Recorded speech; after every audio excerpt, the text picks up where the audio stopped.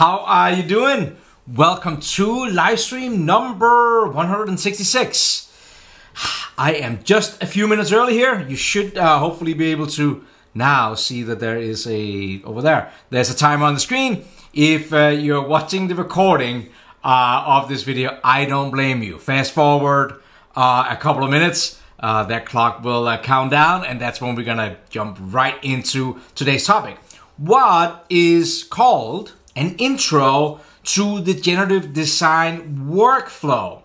Uh, so uh, this is kind of like piggybacking on a couple of other live streams that I've done, and we talked about. I made a uh, a live stream on understand generative design, so we're gonna jump into that. I can see we already got people in here. We got Isaac in here. Good to see you. Chad is in here. Aaron, uh, good to see you. Doing great, man. How how about you? Hope you're doing hope you're doing that too. Um, we got uh, 3D Gosner is in here. Evening and Ecuador from Argentina. Absolutely appreciate it, Michael. Really appreciate you guys taking the time to uh, to join these live streams. Like I said, if you're watching the recording, I don't blame you. Just fast forward another minute and a half or so. Uh, this is just. I just want to have an opportunity to say thank you to everybody. Um, and uh, like yesterday, somebody actually asked a question right before, and I had an opportunity to show it uh, during the live stream, which is awesome. Uh, Simon, Simon is here uh, from Scotland. That's absolutely awesome. Sean, uh, August, appreciate it. All you guys really appreciate you taking the time. Yeah, so today's topic, we're going to jump in um, into this generative design again, but um, I wanted to do it a little bit differently um, because I actually want to kind of show the workflow. Um, and hopefully, I mean, this is not going to be like the big shiny Cadillac awesome thing, but I just wanted to kind of help uh, if you are interested in this uh, generative design and there's a lot of interest for it uh, i just thought that maybe it could be useful to spend eh, 10 15 minutes uh, on that. Uh, tommy's here randy uh, jessica's here. Um, absolutely appreciate you guys taking it from australia's here. Really appreciate you guys taking time. 54 people already and we're just not even we're not even on top of the hour you guys are the best really appreciate it um, so uh, yes, this generative design, uh, this button that uh, you have seen on my screen uh, is now um, part of the ultimate package. It has to, you have to be uh, bought the ultimate package uh, to get the generative design. It's so brand new. Um, I'm still learning it, um, but I thought it could be cool to kind of take you through through that. So. Um, Oh, there we go. Jeff says that Autodesk will be there in a few hours to show the generative design tool. So that's absolutely awesome. Well, with that countdown, let me just uh, let's just let's get into it here. So uh, let me just get rid of the clock here. Should always be good, and we're good to go. Hey everybody, and thank you so much for taking the time to uh, join today's live stream. It is number 166. Today's topic is an intro to the generative design workflow. What I really wanted to do was I wanted to kind of like piggyback on uh, the live stream we did on, well, it was originally an airfoil that then became a airplane wing rib. Um, we did some simulation with it and then somebody suggested um, in the in in the in the comment area, it could be fun to see that thing go into generative design. So I thought I would combine it all into to that. That's what we're gonna cover today. I don't know. I'm gonna try to do it in like 15 minutes or so. Don't want to waste too much of your time, but really just hope that uh, that you find that you find these live streams a little bit useful. And this I think could be interesting, even if you don't have the generative design uh, button in your screen right now. Um, I just think like the thought process uh, of going through a, um, a design. So, appreciate it. My name is Lars Christensen, and uh, yep, I really appreciate it. Thumbs up if you like it, thumbs down if you don't. Let's get in. Uh, let's get into Fusion. So this is what we we kind of started out with um, a few. I think it was Monday a week ago. Uh, so we had originally created a uh, an airfoil, what is kind of like the outside shape of a uh, of a, a, a a wing and we had used uh, online data to create that inside of Fusion. That goes a while back. But then we talked about how we could chop up the design and actually turn it into uh, one of these ribs. So normally there's like multiple of these ribs inside an airplane wing. They can rather be created out of wood. In our case, are uh, creating them out of aluminium. aluminium. I'm gonna try to say it better this time. Uh, and um, and actually, the, what I want to get at today was you see how I kind of lightweighted it here with some some holes in it. Um, where did I get that from? Well, honestly, I got it from a picture. I looked online, uh, airplane ribs, and um, guess what? There was something that looked very similar to this. And uh, you know what? This is kind of how we many times do things when it comes to um, to design, right? We we use our best our best idea on on, on something, and then we go with that. Well, how can we turn? How can we make this better? How can we make this a better uh, design? And one of the ones could be to turn it into something like this instead. So going from uh, this design, what um, you know is this airfoil we had Monday a week ago, but into uh, one that actually looks a little bit different. And some of the main differences, just you know, if you're watching this on a phone or something, is that um, first of all, uh, you can see that we kind of like ended up getting three different legs in here, um, but this area here is a lot thinner. So uh, in the, in the original design, I went with uh, about 20 millimeters uh, thickness in here, 20 millimeters right there. You can see that. And if we go into this part, um, you will see that um, this one here is closer to 5, 5.1 millimeters. So substantially thinner. And I used generative design to, uh, to get me to this place. Now, I know that this model is not uh, maybe when you're looking at it, the, the you know, the, I don't know, the most, um, you know, sexy or whatever you want to use a word term. Uh, but the the biggest difference I think in it is that if we look at this original design, uh, made it out of aluminum, and we go in and we look at this body here, um, and we look at the properties for this aluminum piece, we can see that this piece weighs about six kilos, six thousand uh, six thousand grams, so so six kilos where this other version you're looking at here, if we go and look at that, is um, is a little bit under four kilos. So we shaved off um, we shaved off some weight. Now you might say, well, that's that's all good. Um, you know, no big deal. You just made walls thinners and, and, and looked at it until it was thinner. But if you remember from from Tuesday, yesterday, a week ago, we did simulation on these part on this part. So on this part here, um, we actually went into the simulation workspace inside of Fusion, and everything's going to show you kind of like works within the Fusion workspace. So after I had designed this part, I was kind of questioning like what, like how strong is this part? Now I've had some aviation expert telling me that uh, my loads are wrong uh, and doesn't simulate normally on an airplane.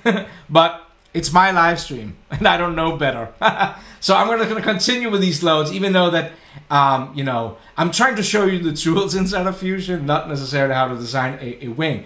But we ran a simulation study on this uh, last Tuesday, and I talked about, I always used to be very, um, um, very cautious when it came to simulation until I realized that safety factor is really the only thing that you should really, really uh, stay focused on. And what we did to this part was we applied, we, we fixed the top of the wing.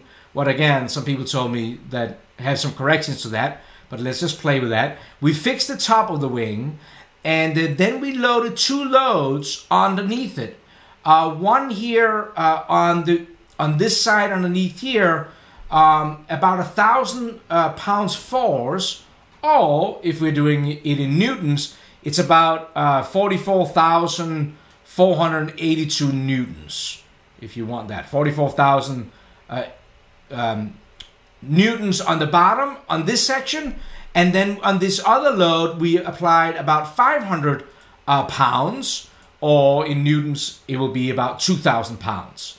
Um, and, and when we went in and we looked at that uh, those results uh, inside of Fusion, we saw that uh, we got about a safety factor of 5, what means that this thing, if, if, if, you didn't watch that one, you can go back and watch it, but um, safety factor of 1 is generally where we're saying that's right when the part would fail. So normally you would go with a safety factor of either 2 or 3.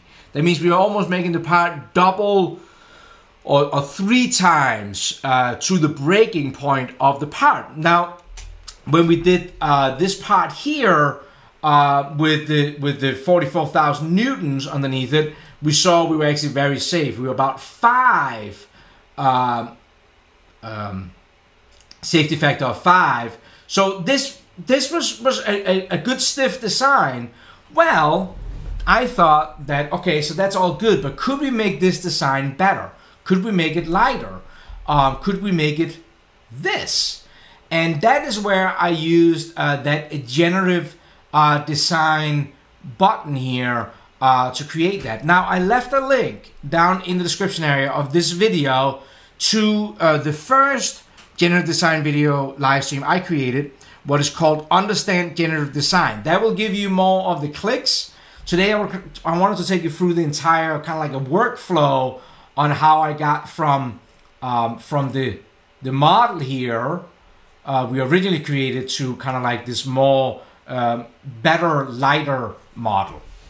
So inside of um, generative design, let me open that up here. Um, if you if you remember, if you saw me doing the generative design, the generative design works a little bit differently than what we what we normally design things with. So what I generated, and I use Fusion, I'm going to show you them in a second. I generated a, um, a preserve region, but it's kind of like the outer ring of the airfoil. That is my preserve. I know I want to keep that, but then I need to generate some stuff inside of, of, of here. That's what I want uh, generative design to do. So um, to kind of control that, you create something called an obstacle region. And I created an obstacle that was outside, almost like a shell, outside uh, the uh, preserved region, what is in green. Um, and it's maybe easier to show you actually in Fusion what I did. So what I did here inside of Fusion was I kind of, the green, like I talked about, that this green here is that outer shell of our original one here because I know that that's not going to change, but it's in between that needs to change. And um, and and what I used then was I kind of created uh, these three generative, um, uh, these uh, sorry, these three obstacles in here. Um, so turn these off here. So one um, was kind of this outer shell that is not really interesting. Uh, then I created uh, kind of these these covers that that held in the inside. So if I go in here and I do a section analysis from the inspection, uh, then you can kind of see that I I hollowed out the inside of it, and that's what generative design is going to use to build that. So I brought that in to generative design like that as a model um, and we added our forces, just like I, I showed before. So here's the Newton, 44,000 down here, 2,000 down the bottom. Um, and then I ran in and I kind of started letting, um, whoops, and I kind of let um, generative design create what it needed to create. You can actually see it's still working on a couple of, of things here. Uh, now, what becomes interesting inside of generative design um, when I started getting these results, and I, what I like to use is this plot up here. And this plot here shows you, I actually, so our original model was made out of aluminum, but I thought might as well just run one out of Inconel and titanium because I kind of like uh, looking at the minimum factor of safety, what I just talked about. So we're looking for something, I ran this one at minimum of three. Now remember our original model was five, but three would probably be okay. Um, and then a low mass. So this thing here kind of plots out uh, the different materials. So green again is titanium. So I'm kind of looking down this quadrant down here. Again, mass is at the bottom and minimum factor is, is, is, on the long gate. So you can see that we do have some options with um, titanium, Inconel looks like that's kind of out of the reach. Um, but aluminum is clearly the, the winner in here. Um, but here comes an interesting thing. So this one here is the low is, is, is about five, minimum factor of five. What was what we wanted, and it's the lowest on mass. Uh, so this is the one I'm most interested in. So I'm going to click here and select that one and go in and look at it. Now, here is something very important to share to you about uh, generative design.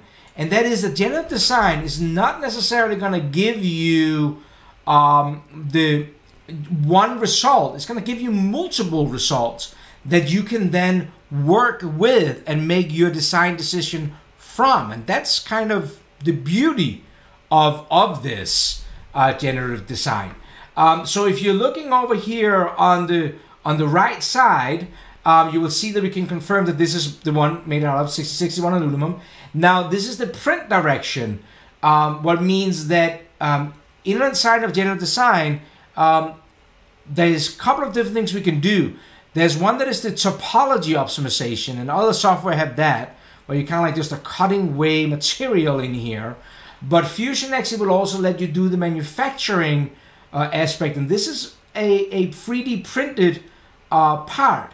Now, I knew that when I was going to model this one up, that I was not just going to, like, if you're looking at this shape here, um, 3D print this out of aluminum looks like that is the best solution.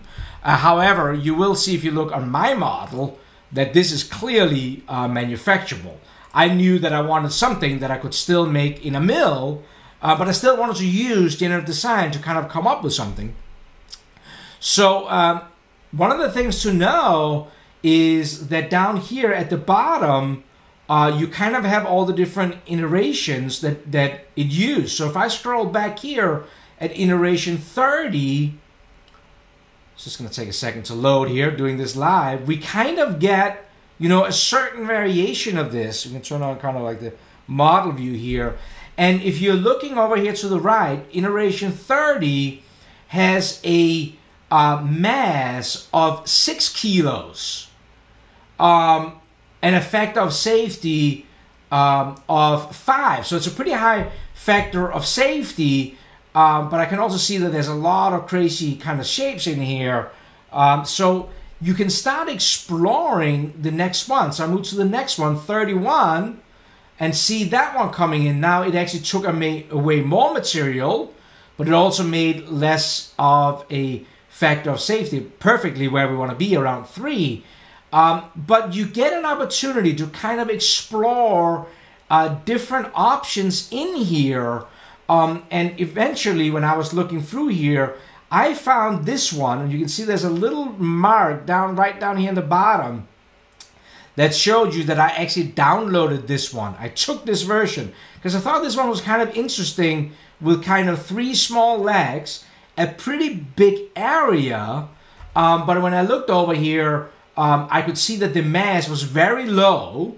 Now I knew that I would make these legs a little bit fatter than this, um, but it's within the, the factor of safety. So what I did was I saved this one out. Now inside of Fusion, you get uh, two options. You can uh, inside of generative design, you can export it out as a solid model or as an STL model. And I think most people would probably think, why not saving it out as a uh, as a solid model? But you know, I knew that because I wanted to make this manufacturable, I don't have a, a metal 3D printer, uh, and I, and that's not maybe what I wanted to do with this process.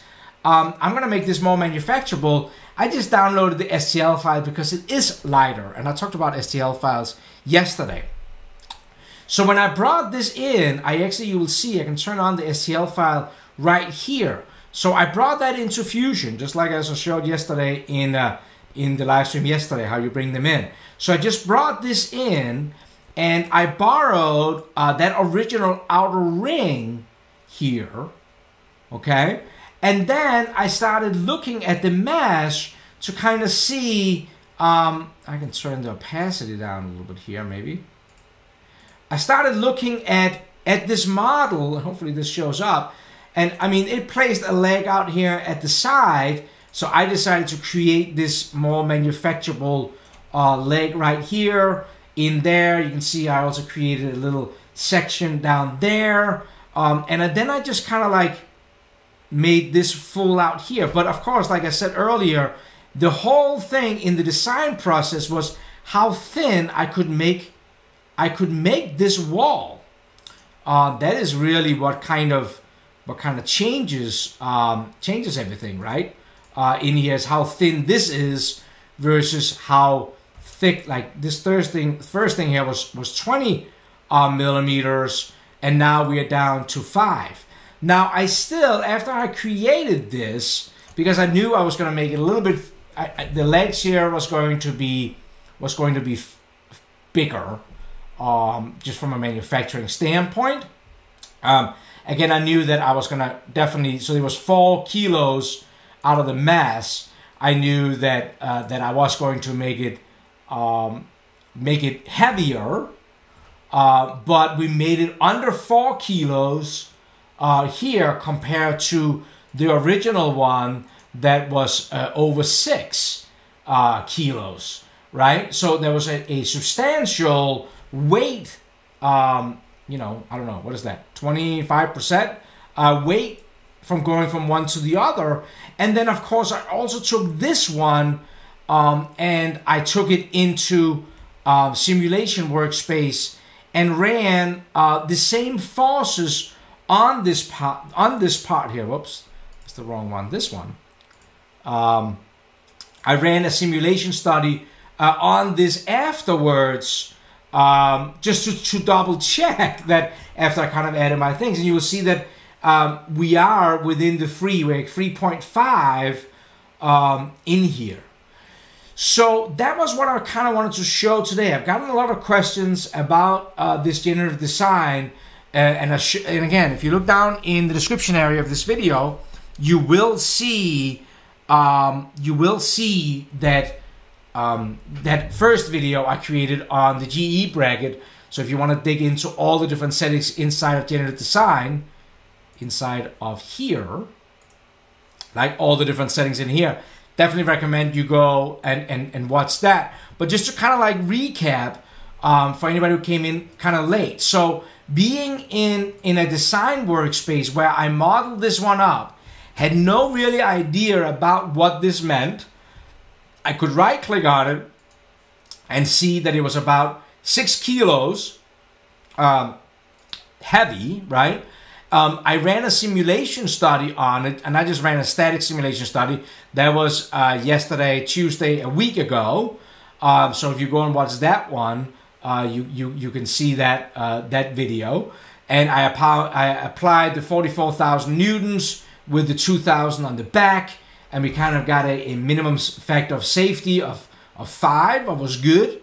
But then um, instead of just being like, okay, I guess that's good enough um, bringing it into the generative design workspace, explore uh, different options in here, looking at, you know, how can I, I make this part better? And then still not just taking what comes out of generative uh, design as like gospel and be like, oh, that's the only way. No, I actually played around. Again, you can you can go in and look at uh, the different iterations of the part uh, in here. So here's like the one I actually ended up using, but I didn't use this one. This would have been perfect for, for you know, metal printing. I used uh, this one here uh, because I thought that looked more closer to what I wanted. Converted it in to um, this by bringing it as a mesh and make a more manufacturable part. Still, we have now decreased the weight of this part uh, by 25% or so, from six kilos down to uh, a little bit under four kilos, um, and still confirmed in the simulation workspace uh, that we are still within the minimum factor of, uh, of three, three and a half. Um, so that was what I was hoping to show today. Hope that this kind of like gave you an idea about how you can work with this. And I gotta be honest with you, uh, like I said earlier, I am learning um, in this whole generative design uh, space too. So I'm definitely gonna I'm gonna work on, on, on making other things. And I know that this part maybe wasn't uh, the most flashy part. I can probably come up with something that is a lot more like the, even I would say the GE bracket. If you look at the uh, um, the understanding of design uh, video I did a few weeks ago, uh, that probably looks a little bit more um, aesthetic looking. Uh, but I think that this was a good practical way to kind of staying within Fusion and take it through that whole whole workflow and uh, and kind of get a good idea about where you are with your with your design. So you're not just modeling things up on the screen and think that hopefully it, it, it works out in the real world. That was what I was planning on showing today. Tomorrow we're gonna I'm gonna answer some of your questions uh, via email. That was supposed to be Wednesday, but I got the week messed up because we had Monday off. I hope you appreciate this. I uh, hope it was useful. Get a little bit more. We're going to dig more and more into this generative design. Uh, get to see a little bit more uh, of it as we're going through. That was all I was planning on showing today. If you're watching the recording, thank you so much. I appreciate you taking the time. If you're inside of uh, the live stream chat, I'm going to jump in there and say hi to everybody. So, until tomorrow, I hope you have an awesome, awesome day. Thank you so much. Take care, folks.